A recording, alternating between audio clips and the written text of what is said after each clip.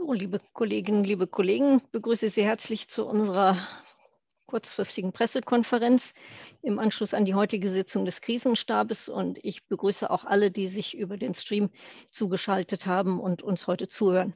Ihre Gesprächspartnerinnen und Partner sind neben Frau Oberbürgermeisterin Katja Dörner, Stadtdirektor Wolfgang Fuchs, der Leiter des Krisenstabes. Dabei ist Dr. Susanne Engels, die Leiterin des Gesundheitsamtes der Stadt Bonn und Stefan Günther, der Leiter des Sport- und Bäderamtes, sowie Günther Dick, Leiter des Amtes Bürgerdienste. Und Frau Oberbürgermeisterin beginnt bitte. Herzlich äh, willkommen auch von äh, meiner Seite zu unserer heutigen Pressekonferenz äh, Corona-Update sozusagen mit den ja auch in Bonn fallenden Inzidenzwerten wächst bei uns allen die Hoffnung, dass wir bald ein Stück Normalität äh, zurückgewinnen können. In Bonn liegt die Sieben-Tages-Inzidenz seit einigen Tagen schon unter 150. Wir nähern uns äh, auch der 100er-Marke. Heute am Mittwoch, 12. Mai, äh, liegt der Inzidenzwert bei 110. Setzt sich der Trend der letzten Tage fort, können die Regelungen zum Infektionsschutz gelockert werden und weitere Öffnungen sind möglich. Der Krisenstab, Krisenstab der Stadt hat heute dazu äh, getagt und bekräftigt, äh, an der Niedriginzidenzstrategie festzuhalten. Wir wollen vermeiden, dass es eine Art Jojo-Effekt gibt. Das heißt, äh, wir wollen bei den Öffnungsschritten weiter Vorsicht walten lassen, um keine erneut steigenden Infektionszahlen hervorzurufen. Maßgeblich sind für uns natürlich das Infektionsschutzgesetz des Bundes und die jeweilige Corona-Schutzverordnung des Landes. Zu den Schwellenwerten wird Herr Fuchs gleich noch weitere Details beisteuern. Gemäß des äh, Beschlusses des äh, Krisenstabes soll es eine mehrstufige Teststrategie unter Berücksichtigung der neuen Corona-Schutzverordnung in der kommenden Woche auch mit dem Handels- und äh, Gewerbeverbänden besprochen und denen vorgestellt werden und dann am 19. Mai vom Krisenstab beschlossen werden, wenn sich herausstellt, dass die städtischen Maßnahmen über die dann geltende Corona-Schutzverordnung des Landes hinausgehen, die uns ja noch nicht vorliegt, dann bedürfen die Maßnahmen der Zustimmung des NRW-Gesundheitsministeriums. Wir setzen auf Click and Meet and Test. Nach Auffassung der Stadt ist die Verknüpfung von Öffnungen an tagesaktuelle Negativtests etabliert und auch einfach umsetzbar mit mittlerweile mehr als 250 Teststellen im gesamten Stadtgebiet haben die Bürgerinnen und Bürger in Bonn inzwischen problemlos Zugang zu einer guten Testinfrastruktur. Mit der Teststrategie wollen wir einerseits die sichere Rückkehr zu einem normalen gesellschaftlichen Leben langfristig sichern. Darüber hinaus wollen wir aber, das haben wir auch ähm, immer äh, als Strategie dargelegt, ähm, die Dunkelziffer potenzieller Infektionen ausleuchten und damit verringern. Wir wollen Infektionsketten unmittelbar erkennen und durchbrechen. Und nur so können wir verhindern, dass die Inzidenzen dann wieder ansteigen. Wie Sie wissen, arbeiten wir auch an einer digitalen äh, Komponente, um die Kontakte nachverfolgen zu können. Dazu wird auch Herr Fuchs äh, gleich noch Näheres ausführen. Ich kündige heute schon mal an, dass wir in der nächsten Woche weitere Datenauswertungen veröffentlichen werden, die das Infektionsgeschehen in Bonn detaillierter darstellen und die wir dann einmal wöchentlich auch aktualisieren werden. Für die Impfung in bestimmten Stadtteilen oder bestimmten Zielgruppen liegt die erwartete Verordnung des Landes noch nicht vor und es gibt auch keinen äh, zusätzlichen Impfstoff. Wir sind aber weiter, wir bereiten uns weiter darauf vor, auch äh, sowas umsetzen zu können. Zum Thema ÖPNV. Der Krisenstab hat sich auch mit den Stadtwerken heute darüber verständigt, dass mit dem Ende der Ausgangsbeschränkungen, also wenn die Bundesnotbremse außer Kraft ist, Busse und Bahnen nach Mitternacht wieder regelmäßig verkehren. Zu den Bibliotheken da wollen wir vorerst dabei bleiben, die kontaktlose Ausgabe und Rückgabe bereitzuhalten, weil eine Öffnung mit Tests äh, auf wenig Akzeptanz zu stoßen scheint. Das Kunstmuseum Bonn strebt für das Wochenende 29. 30. Mai eine Öffnung an. Das Stadtarchiv plant, den Lesesaal ab dem 1. Juni wieder zu öffnen und die Ludwig van Beethoven Musikschule nimmt ab dem 17. Mai schrittweise den Präsenzunterricht wieder auf. Lassen Sie mich noch kurz äh, zusammenfassen. Wir freuen uns natürlich alle über Öffnungen und Auföffnungen. Wir sollten uns aber bei jedem Öffnungsschritt auch klar sein, welche Verantwortung für uns alle damit verbunden ist. Verständlicherweise sehen wir uns alle nach Unbeschwertheit. Die Voraussetzungen dafür sind äh, unserer Auffassung nach aber noch nicht gegeben. Deshalb bleiben wir weiter vorsichtig und wie immer appelliere ich an alle Bonnerinnen und Bonner, sich äh, an die Hygiene Regelungen und die AHA-Regelungen zu halten und Kontakte, wenn irgend möglich, zu vermeiden. So viel von mir eingangs. Vielen Dank für die Aufmerksamkeit. Vielen Dank, Frau Dörner. Dann gebe ich an Wolfgang Fuchs, Herrn Stadtdirektor und Leiter des Krisenstabs. Ja, vielen Dank, liebe Monika Hörig. Ähm, ja, meine Damen und Herren, ähm, die ähm, Oberbürgermeisterin hat gerade schon darauf hingewiesen, dass äh, wir ja uns der Schallmauer von 100 ähm, nähern. Äh, bis aber wir die 100 erreicht haben, gilt noch die ähm, Notbremse, also das äh, Bundesinfektionsschutzgesetz. Und das heißt, ähm, zwischen 100 und 150 gelten die Regelungen, Zusammenkünfte im öffentlichen und privaten Raum nur mit einer Person, weiterhin die, die Ausgangssperre von 22 Uhr bis 5 Uhr, beziehungsweise bis äh, von 24 Uhr bis 5 Uhr, das kennen Sie, ähm, inklusive der Schließungen des Einzelhandels und der Freizeiteinrichtungen.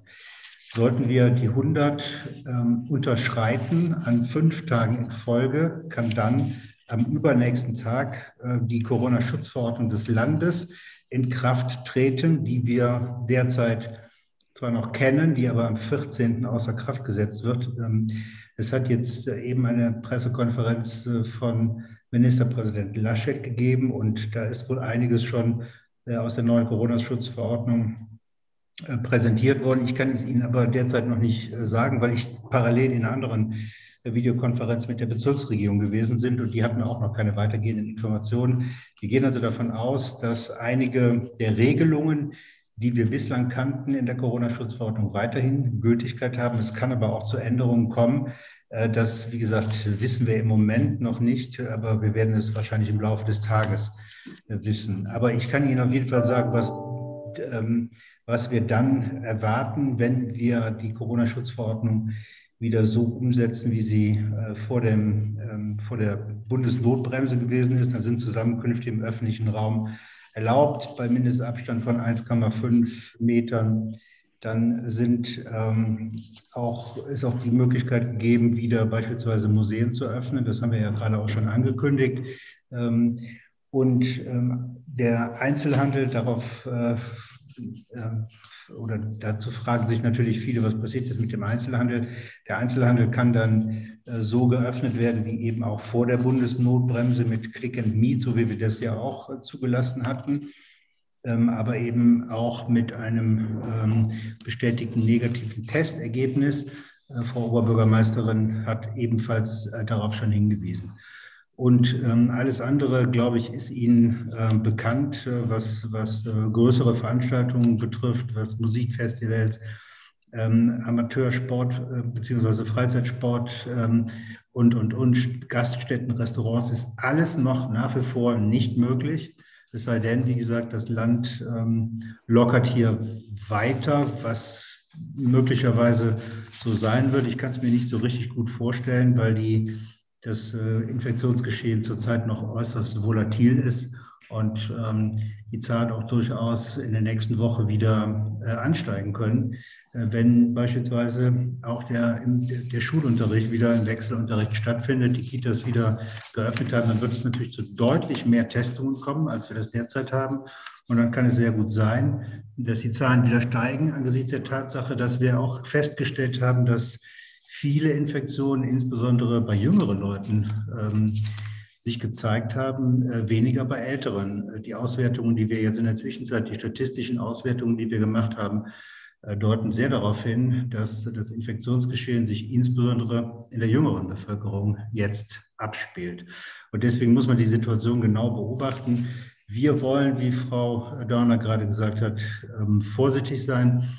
Wir wollen nicht mit, mit vorzeitigen ähm, Öffnungen uns ähm, die Situation wieder deutlich erschweren. Das Gesundheitsamt, kann ich so im Namen von Frau Dr. Engels sagen, ist sehr froh, dass die Zahlen rückläufig sind. Und das wäre auch äh, für die Kolleginnen und Kollegen des Gesundheitsamtes außerordentlich schön, wenn wir dabei bleiben könnten, denn die Anspannung dort ist ähm, schon mit Händen greifbar.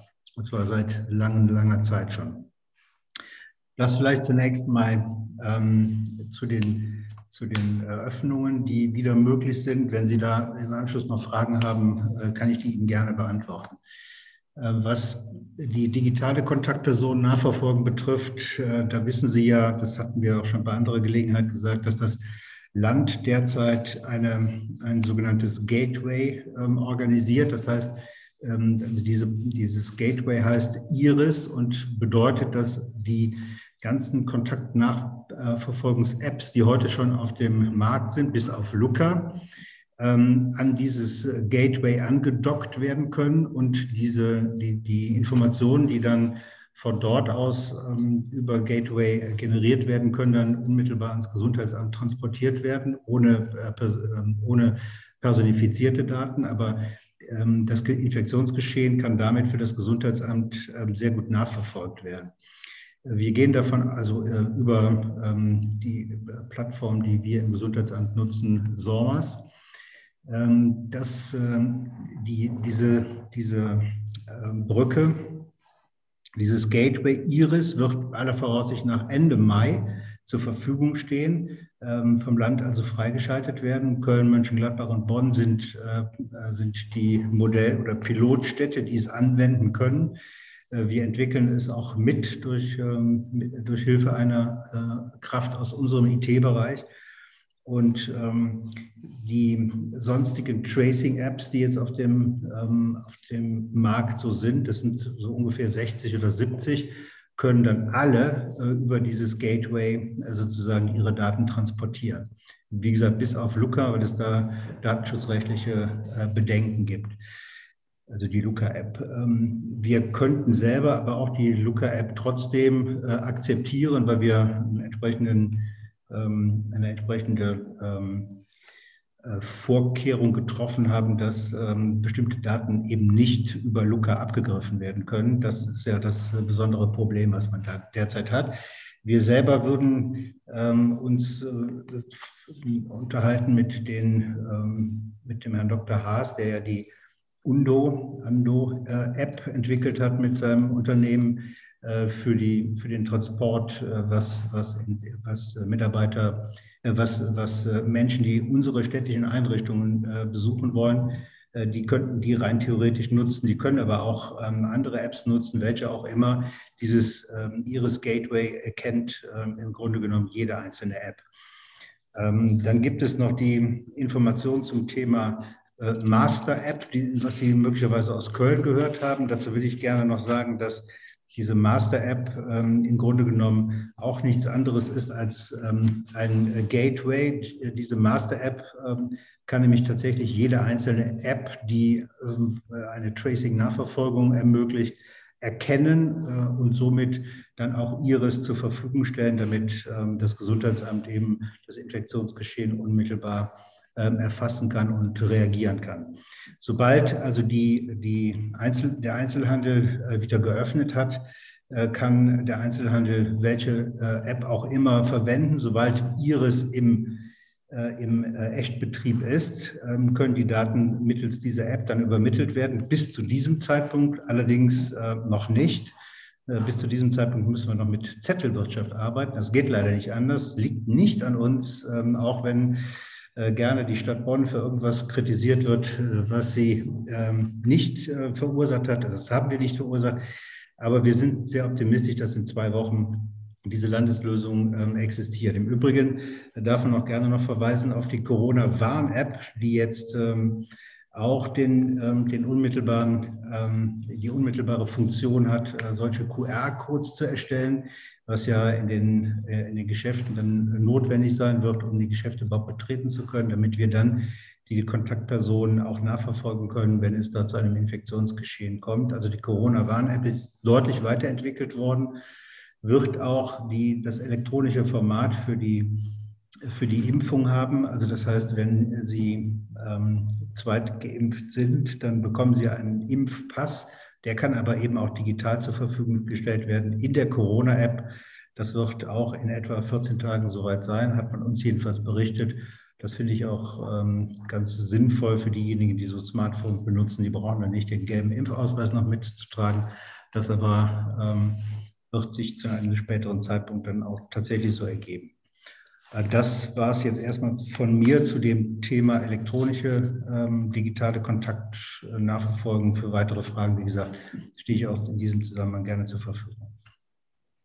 Vielen Dank, Wolfgang Fuchs. Ja, dann haben wir auch etwas zum Thema Schwimmbäder. Herr Günther. Ja, herzlichen Dank äh, auch von mir. Herzlich willkommen in die, in die Runde. Ich ähm, habe hab heute dem äh, Krisenstab äh, mehrere Punkte zum Thema äh, Schwimmen vorgeschlagen und ich denke, ich habe insbesondere eine gute Nachricht äh, für die vielen Eltern, die seit dem vergangenen Jahr auf der Suche sind nach Schwimmkursen für, für ihre Kinder. Denn äh, die Corona-Schutzverordnung des Landes ähm, erlaubt die Durchführung von Anfängerschwimmausbildung und Kleinkinderschwimmkurse für Gruppen von höchstens fünf Kindern. Ähm, hierfür ähm, gab es bislang eine, einen Schwellenwert von, äh, einen Inzidenzwert von 165, den wir in Bonn ja ähm, glücklicherweise unterschritten haben, sodass die Durchführung dieser Kurse äh, jetzt auch wieder möglich ist. Äh, das ist sozusagen ein wichtiger Unterschied zu dem übrigen Sporttreiben. Diese Kurstätigkeiten, die Schwimmausbildung ist sozusagen in einem anderen Paragraphen vorgesehen, nämlich bei den außerschulischen Bildungsangeboten, weil der Verordnungsgeber gesagt hat, das Schwimmlernen ist eine so wichtige Grundfertigkeit, das ist sozusagen ein Bildungsangebot und hat deshalb sozusagen einen höheren Schwellenwert, als äh, ihn das übrige Sporttreiben auf den Sportplätzen hat. Deshalb ist die Durchführung dieser Kurse wieder möglich, ähm, begrenzt allerdings auf eine Gruppe von höchstens äh, fünf Kindern. Und äh, deshalb wollen wir ab der nächsten Woche die Leerschwimmbecken auch wieder für diesen Zweck öffnen. Ähm, das sind insbesondere die Leerschwimmbecken in den Schulgebäuden. Ähm, wir stellen aber auch die Leerschwimmbecken in unseren ähm, öffentlichen Hallenbädern zur Verfügung, äh, nämlich in der Boiler Bütz und im, Hartbergbad. Wir sind seit, einiger, seit einigen Tagen auch schon im Gespräch mit den Vereinen, die äh, dabei sind, mit uns gemeinsam ähm, ein entsprechendes Konzept auch zu entwickeln. Die Vereine haben sehr hohe Wartelisten. Ähm, viele Eltern, wie gesagt, äh, suchen seit einiger Zeit Kurse. Deshalb sind da sehr viele Kinder auf den Wartelisten. Und wir werden jetzt sehr kurzfristig mit den Vereinen zusammen eine äh, optimierte Belegung entwickeln, damit dann ab der kommenden Woche möglichst viel Kurse auch stattfinden können, eben für Kinder maximal fünf pro Kurs. Das sind also die Vorgaben. Ähm, Hygienevorgaben äh, sind dann natürlich dann auch einzuhalten. Das ist, glaube ich, eine, eine gute Nachricht und auch der erste Schritt ähm, äh, zur, zur Lockerung im, im Bereich des Sports. Ähm, wir haben uns auch mit der Frage beschäftigt, ähm, ob das Thema Schulschwimmen nochmal ähm, aufgenommen werden soll äh, bis zu den Sommerferien, haben uns allerdings gegen entschieden, weil die Schulen in der kommenden Woche ja erstmal in den Wechselunterricht starten. Das heißt, die Schulklassen sind nicht vollständig. Wir haben auch quasi äh, keine, keine großen Nachfragen aus dem Bereich ähm, äh, gehört, sodass das Schulschwimmen in den Hallenbädern jetzt bis zu den Sommerferien äh, nicht mehr stattfinden wird. Die Schulen, die Interesse haben, mit einzelnen Gruppen, einzelnen Schulklassen schwimmen zu gehen, können das sehr gerne bei uns in den Freibädern äh, tun. So ist das auch im vergangenen Jahr äh, praktiziert worden. Äh, das werden wir mit den Schulen auch noch entsprechend kommunizieren. Die können sich gerne bei uns melden und äh, dann können wir die ähm, Freibäder äh, dann äh, für Wunschzeiten zuweisen. Das bringt sozusagen nochmal die Freibäder mit ins Spiel. Das ist auch eine Frage, die wir bei äh, den dann doch etwas gestiegenen Temperaturen in den letzten Tagen immer wieder gehört haben aus der Bevölkerung, wann machen denn die Freibäder in Bonn auf? Ähm, da kann man aus heutiger Sicht äh, sagen, das kann man taggenau noch nicht bestimmen. Das hängt von mehreren Faktoren ab. Nämlich, das, zum einen hängt das davon ab, ähm, wann wird sozusagen dieser Inzidenzwert von 100 unterschritten, sodass die Regelungen der Bundesnotbremse nicht mehr gelten. Und wann wird dann das Land Nordrhein-Westfalen die Corona-Schutzverordnung entsprechend ändern, dass auch der Betrieb von Freibädern erlaubt ist? Wenn diese Dinge sozusagen geklärt sind, können wir ähm, die Freibäder in Betrieb nehmen. Ähm, wir bereiten uns seit Wochen auf die Öffnung der Freibäder vor.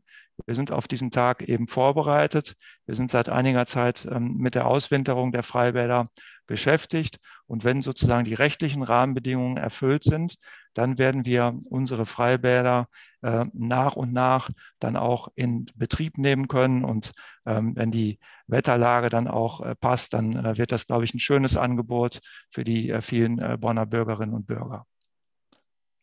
Vielen Dank, Herr Günther. Herr Dick, aus Ihrem Bereich noch ein paar aktuelle Informationen? Ausgangsbeschränkungen werden gut eingehalten? Ja, ich, ich, denke, darüber haben wir ja auch ähm, in der Vergangenheit bereits äh, berichtet. Also die Erkenntnisse unseres Stadtordnungsdienstes äh, sind wirklich so, dass äh, wir davon ausgehen können, dass die Bonner Bevölkerung sich also weitaus überwiegend an die Ausgangsbeschränkungen hält. Es hat also nur vereinzelte Verstöße gegeben. Ähm, aber wenn wir die Gesamtbilanz betrachten, können wir also in Bonn wirklich sagen, dass wir mit dem Verhalten unserer Bevölkerung sehr zufrieden sind und Dafür äh, möchte ich mich auch an dieser Stelle herzlich bedanken. Gut, wenn es da keine sonstigen Ausreißer gibt im Moment, die berichtenswert ist, vielen Dank. Frau Engels, äh, dasselbe gilt für Sie, besondere Vorkommnisse. Nee, wir hatten keine besonderen Vorkommnisse. Bei uns äh, ist ja jetzt einiges, äh, was der Herr Fuchs schon geschildert hat, im Gange. Wir freuen uns auf die Kontaktverfolgungs-App, weil uns das auf jeden Fall helfen wird, die Fälle besser zu ermitteln. Und auch ich bedanke mich nochmal im Namen meiner Mitarbeiter auch, dass die Bevölkerung so toll mitgemacht hat bisher. Und ich hoffe, dass wir da auch weiterhin auf einem guten Weg sein werden. Danke. Prima, vielen Dank, Frau Engels. Ja, liebe Kolleginnen, liebe Kollegen, dann Ihre Fragen. Sie melden sich bitte mit Handzeichen oder bitte mit der elektronischen Hand, damit ich Sie wahrnehme. Ich sehe gar keine Hand. Kann das sein? Doch, da ist Frau Inhoffen. Bitte. Mikro bitte.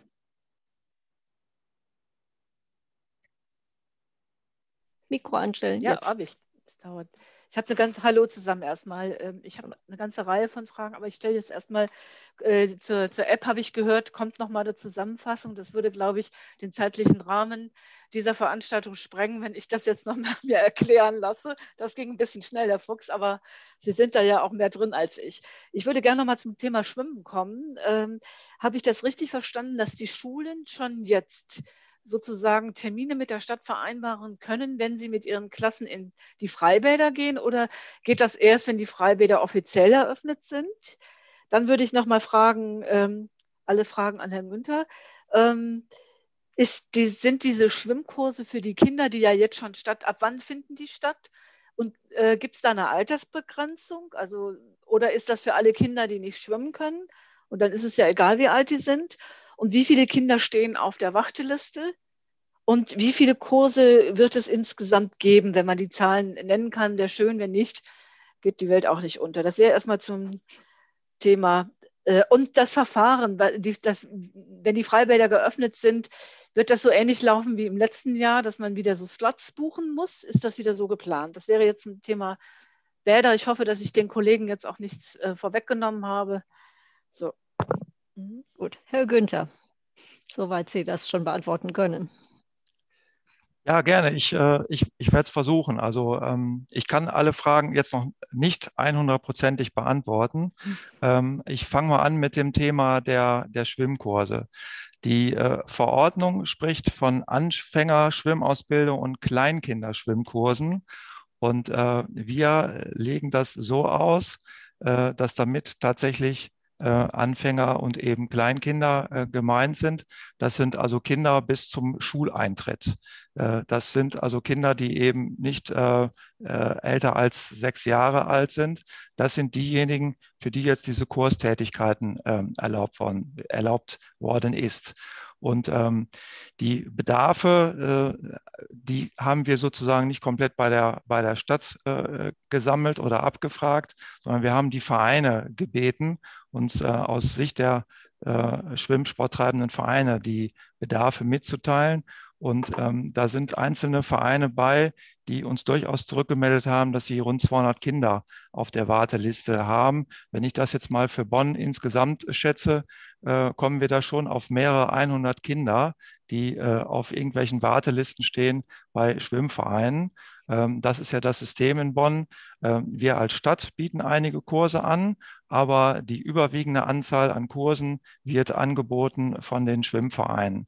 Und äh, das ist so vielleicht ein grobes äh, Mengengerüst. Äh, das sind mehrere 100 Kinder, die da quasi auf auf Kurse warten. Viele mussten quasi im vergangenen Jahr abgebrochen werden, als äh, der Schwimmbadbetrieb nicht mehr möglich war. Aber viele Kinder sind natürlich auch neu hinzugekommen, sodass es da einen Riesenbedarf gibt. Ja, wann können die Kurse genau äh, losgehen? Ähm, ich hatte gesagt, wir stellen quasi die Wasserfläche ab der nächsten Woche zur Verfügung. Ähm, wir werden jetzt sehr kurzfristig mit den Vereinen noch eine Konferenz ähm, ansetzen, die auch schon terminiert ist für äh, kommenden Montag. Und wir werden dann erstmal äh, die genaue Wasserfläche verteilen, damit die Vereine dann eben entsprechend äh, entsprechende Kursangebote auch planen und auch kommunizieren können. Das wird also rein faktisch noch ein bisschen dauern, aber wir geben da jetzt alle miteinander äh, Gas, weil wir eben so schnell wie möglich, ich sag mal, die Kinder auch ins Wasser äh, bringen wollen. Ähm, das waren äh, die Fragen so zu den Kurstätigkeiten. Ähm, zum, zum Schulschwimmen hatte ich gesagt, äh, das kann äh, wie im vergangenen Jahr laufen, dass die Schulen uns ihre Bedarfe melden und wir weisen dann Zeiten in den Freibädern zu. Das kann natürlich erst dann der Fall sein, wenn wir die, die Freibäder tatsächlich in Betrieb nehmen. Ähm, das wird also durchaus dann noch ein paar Tage dauern. Äh, wir hoffen sehr, dass wir quasi mit den ersten Freibädern ähm, dann an den Start gehen können in einigen Tagen und ähm, dann können dann auch die Schulen entsprechende Zeiten buchen. Ähm, zum Verfahren der Freibad-Saison, ähm, das kann ich jetzt noch nicht ganz abschließend beantworten. Da sind wir noch in den letzten Überlegungen, aber das Konzept, so wie wir es im vergangenen Jahr praktiziert haben, hat sich ähm, nach meiner Erkenntnis sehr gut bewährt. Wir hatten ja unterschiedliche Zeitblöcke. Wir hatten ähm, eine Limitierung an, an Badegästen, damit es eben nicht zu voll wird in den einzelnen Blöcken. Und das werden wir im Grundsatz auch so ähm, weiterführen. Ähm, das Ganze steht natürlich auch immer noch unter dem Vorbehalt, dass wir die Landesregelung zu dem Teil ja noch gar nicht kennen. Im letzten Jahr gab es Vorgaben, wie ein Freibadbetrieb organisiert werden muss. Den wird es mit Sicherheit auch in diesem Jahr wieder geben. Wir sind quasi auf alle möglichen Konstellationen vorbereitet und werden dann die entsprechend anpassen, wenn wir die Landesvorgaben kennen, sodass wir nicht unnötig viel Zeit verlieren wollen, sondern ähm, sobald es möglich ist, werden wir dann auch den Betrieb aufnehmen. Danke, Herr Günther. Herr Hübert hatte sich gemeldet. Ja, mit einer Frage vom WDR Bonn aus an Herrn Fuchs. Ich konnte, als Sie mit der Bezirksregierung konferiert haben, Herrn Laumann zuhören in Düsseldorf der gibt so die Devise aus, dass er Genesene und äh, Geimpfte und Getestete mit 48 Stunden Tests äh, alle Vorteile genießen können. Bei Ihnen habe ich jetzt so rausgehört, so eine Bonner Strategie mit 24 Stunden Gültigkeit. Äh, würden Sie dann strenger sein wollen äh, als die äh, Landesverordnung oder gleichen Sie das dann doch an, wenn man das nebeneinander liegt? liegt? Fuchs. Ja, das ähm, ist mir jetzt neu. Ähm, gut, dass Sie das schon gehört haben. Ähm, aber ich hatte ja eben gesagt, äh, unser Ziel ist die, und die äh, Oberbürgermeisterin hat das eben auch nochmal äh, betont, unser Ziel ist natürlich die Niedriginzidenzstrategie. Das heißt, wir wollen versuchen, ähm, den Erfolg, den wir jetzt langsam auch sehen durch die Maßnahmen, ähm, möglichst auch noch weiter äh, zu generieren. Das heißt, unser Ziel ähm, ist eigentlich ähm, eher etwas strenger zu sein, als das Land das äh, vorgibt. Es kommt sicherlich auch ein bisschen darauf an, äh, in welchem Landestag man sich gerade befindet, natürlich. Aber Wir, wir ähm, haben gesagt, wir wollen versuchen, möglichst äh, diese äh, Inzidenzstrategie so lange zu verfolgen, bis wir auch das Ziel erreicht haben. Äh, das Ziel ist eigentlich, unter zehn Infektionen zu kommen, damit wir dann das öffentliche Leben wieder ganz normal hochfahren können. Ähm, die 48 Stunden ähm, scheinen mir ehrlich gesagt dann nicht so der sinnvolle Weg zu sein. Aber ähm, ich weiß jetzt nicht, welche Beweggründe das Land angeführt hat. Wir finden es insbesondere deswegen, weil man ja weiß, wie, die Infektion, wie schnell die Infektionen äh, passieren können, äh, dass so ein 24-Stunden-Test oder eigentlich sogar ein täglicher Test äh, sinnvoller ist. Also wir sagen ja, wir wollen gerne äh, den Einzelhandel auch weiter äh, im Sinne von Click and Meet zulassen, aber eben dann mit einem tagesaktuellen Test. Das ist dann noch nicht mal ein 24-Stunden-Test, sondern man lässt sich testen und geht dann einkaufen. Ne? Also so war bislang unsere Strategie. Äh, final festlegen wollen wir das aber auch erst nächste Woche im Krisenstab, hatte Frau Dörner eben auch schon darauf hingewiesen. Dankeschön. Gibt es weitere Fragen aus Ihrer Runde? Frau Dörner wollte noch was ergänzen, bitte.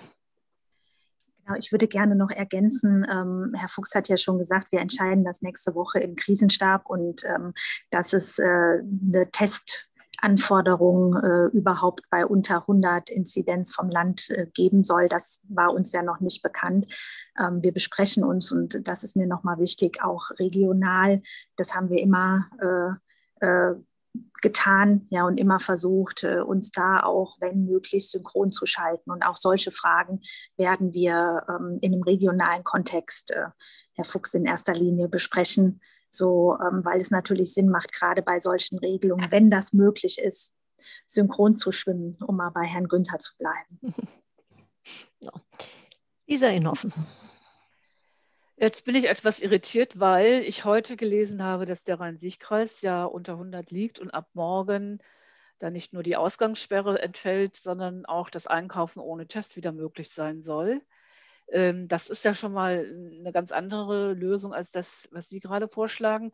Dann habe ich noch nicht ganz verstanden, äh, der Herr Hubert hatte ja von Geimpften und Genesenen diese Regel, dass man äh, nicht länger als sechs Monate äh, erkrankt gewesen sein soll, äh, das müssen die denn überhaupt noch einen Test abgeben? Ich denke, das wird doch bundeseinheitlich geregelt oder ist das wiederum äh, Land, äh, Stadt oder Kommunal oder Landsache? Das kommt jetzt ein bisschen durcheinander. Hm. Nein, dann habe ich mich da vielleicht missverständlich ausgedrückt. Äh, Genesene ähm, und Vollgeimpfte werden so behandelt wie frisch Getestete. Also die, die Geimpften oder Genesenen müssen sich nicht wieder aktuell testen lassen. Genau. So, Lisa, das war deine Frage? Ja, nehme ich an. Gibt es weitere? Ich sehe doch, doch nochmal Lisa Inhoffen, bitte.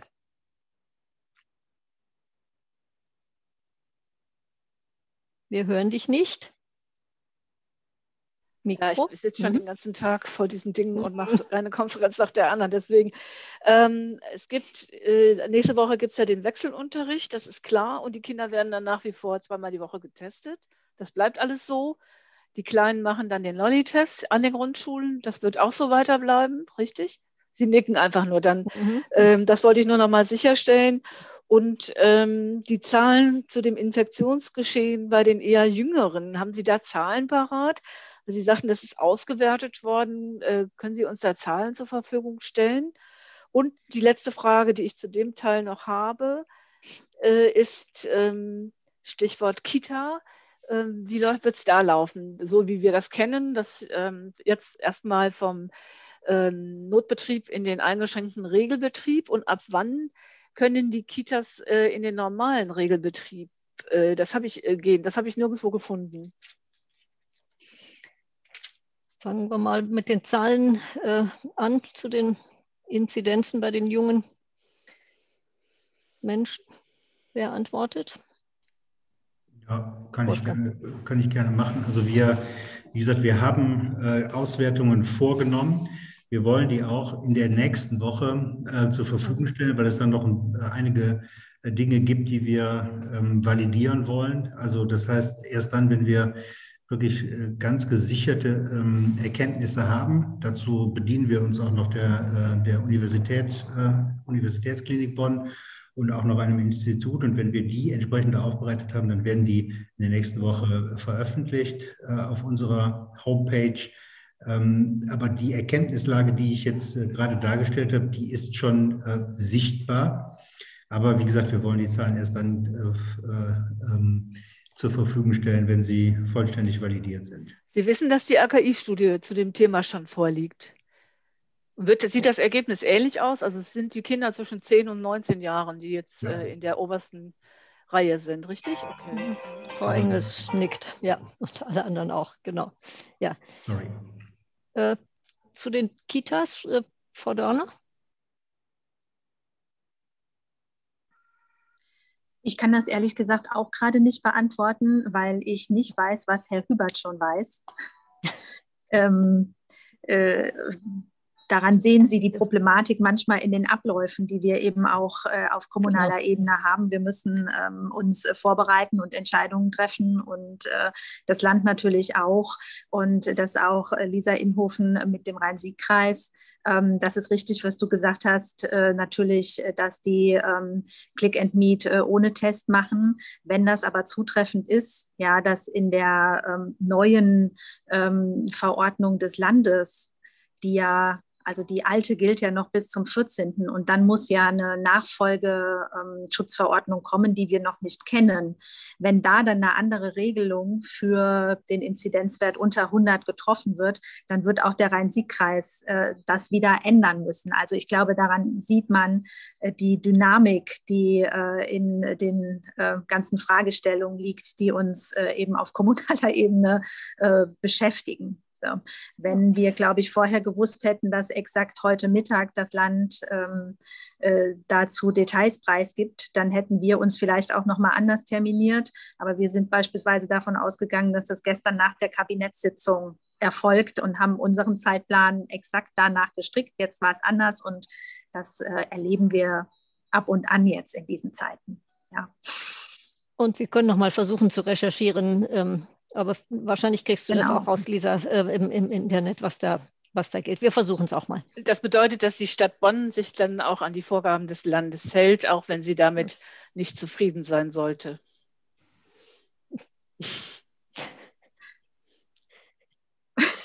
Wird ja. wohl so sein. Genau, tun wir doch schon die ganze Zeit. So, jetzt sehe ich keine weiteren Fragen. Doch, Frau Inhoffen hat noch eine. Ja, sorry, Lisa, aber das bitte. ging eben alles so schnell. Das Letzte, was ich jetzt noch offen habe an Frage, ist nochmal zur Gastronomie. Das, das kommt, das wird jetzt, Herr Fuchs, hatten Sie da eben was zu gesagt? Oder das wird, mhm. glaube ich, ganz am Ende erst entschieden, wann die überhaupt Außengastronomie machen dürfen? Oder wie ist das geplant? Genau, das, äh, dazu gibt es derzeit noch keine aktuelle Regelung vom Land. Ähm, es, also, ah, Herr Höbert, Herr Höbert weiß schon wieder mehr. Gut, ähm, dann gebe ich die Frage weiter an Herrn Hubert. Genau. genau. Und das mit dem 48-Stunden-Test, das war, das war so eine, ging es um die Biersorten Pinkwart und Laumann haben da gesagt, ihr braucht, ihr braucht nicht mehr nach Holland fahren. Also ab dem äh, zum Bier trinken, ab äh, dem 15., so habe ich es mir notiert, ähm, ist Außengastronomie möglich in unter 100 Inzidenzkreisen, sprich ah. so wie Soest oder im Rhein-Sieg-Kreis äh, Außengastronomie für diese getesteten Genesenen oder eben äh, Geimpften. Und das war, war mir eben auch neu, also eben doch wieder mal äh, Biergarten First und eben nicht äh, äh, Freibäder First oder so. Ja, man gleicht sich an Bayern an. Ne? Für den Biergarten ist das nachvollziehbar. Ja. So, noch Fragen bitte? Nein, das ist nicht der Fall. Ich muss auch auf die Uhr gucken. Ja, genau. Frau Dörner muss zum nächsten Termin. Ja, dann bedanke ich mich äh, bei Ihrer Zeit, äh, liebe Kolleginnen und Kollegen, und auch für den, den Input, den Sie uns geliefert haben. Bei allen anderen vielen Dank auch und äh, einen schönen Tag noch.